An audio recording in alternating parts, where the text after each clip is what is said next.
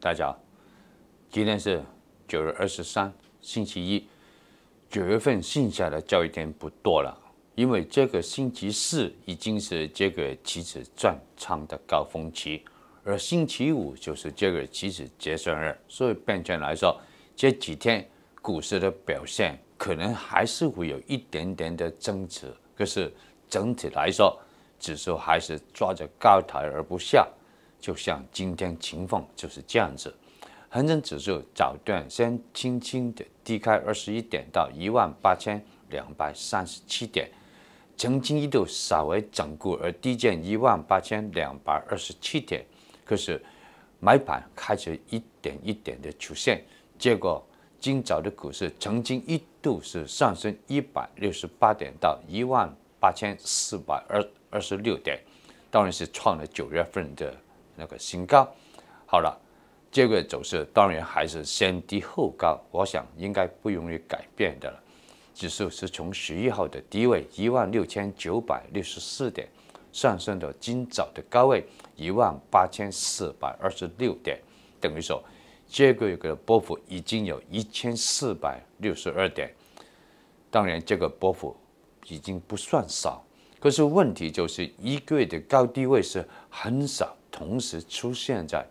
八个交易天之内，那等于说，既然低位在十一号出来，那这个的高位一般来说应该是在二十多号才出来的。当然，今天也可能已经出现这个的新高。为什么这样说？因为成交方面好像是有一点点的减少了。上个星期是总的成交金额有一千四百多亿，星期五有一千七百多亿。当然。中间有三百多是 MSCI 的那个活动，可是就算是不要这一点，也有一千四百亿，那也不算少。可是今天的成交金额可能会稍微减少，等于说股市的动力一旦不配合的话，那上升的势头就会受到考验。不要忘记，现在指数已经在一万八千三左右水平，再往上走，第一个目标。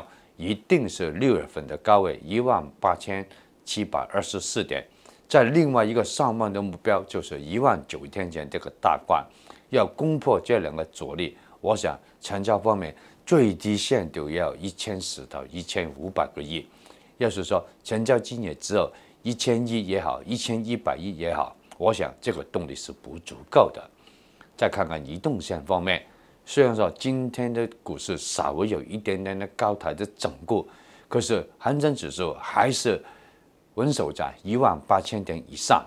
只要这个情况不变的话，等于说指数还是能够稳守在所有平均移动线之上。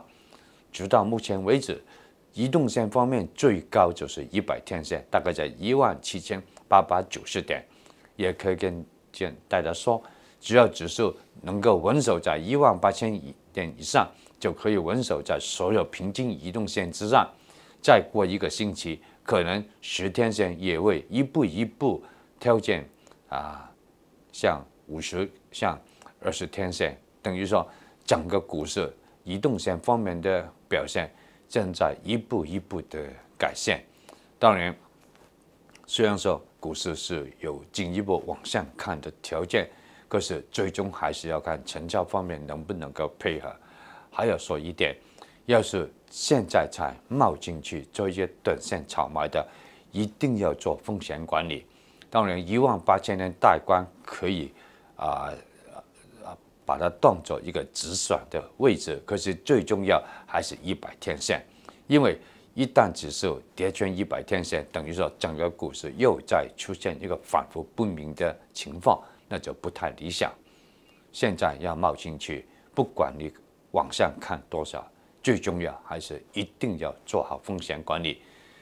当然，早前买了一点点的低价货的，现在也可以稍微轻轻的先回吐三分之一也好，一半也好，毕竟赚钱就是最开心的了。好了，今天下午分析就说到这里，大家记得俾 like 留言。订阅、揿埋钟仔，分享埋俾身边嘅朋友。如果想鼓励我哋嘅话，欢迎可以揿埋个 Super Fans 俾多啲支持我哋。多谢。